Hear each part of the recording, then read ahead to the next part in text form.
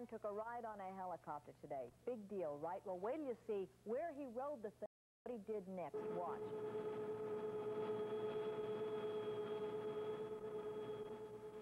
No, it's not Superman. It's just B.J. Davis, a 26-year-old Texan who's a stuntman by trade. This is all in a day's work for B.J., suspended by a neck harness helicopter flying from Universal Studios to the Santa Monica Beach.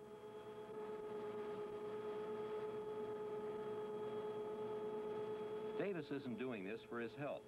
His objective is to attract media attention, and he's obviously achieving that. He wants to set a record for falling from a helicopter into water.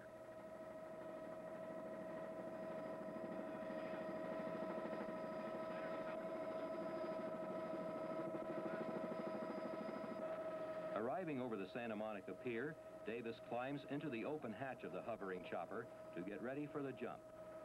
Then, climbing out on the landing gear, he prepares himself and let's go.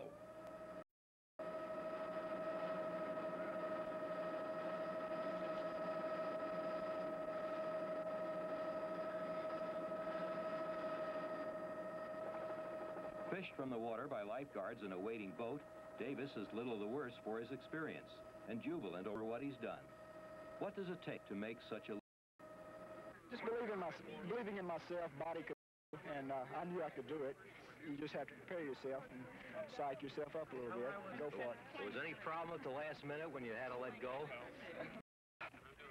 No, sir. Not, not any that I know of right now. It, I, of course, in trying to keep body control, I uh, slapped my hands on the water and uh, but I was all right. On the way down. Oh, well, it'll be over soon.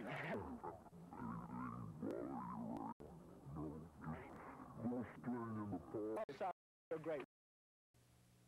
This to promote another stunt later in the summer. This hopes to jump into an airbag from a record height of 325 feet. From the Santa Monica Pier, Saul Halpert, News Center 4. I got to tell you something. BJ's Yeah. out of his mind. Takes He's- that too, yeah. out of his mind. Well, you hmm. wouldn't be, no. No way. That's News Center 4. However- Late news at 11. Good dinner, you too, BJ. from Universal.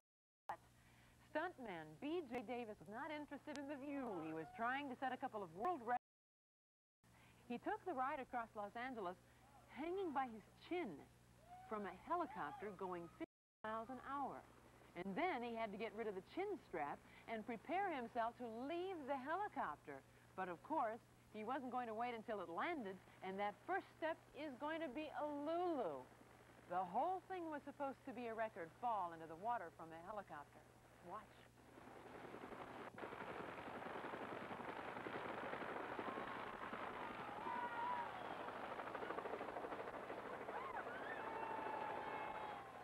He was not going to wait until it landed.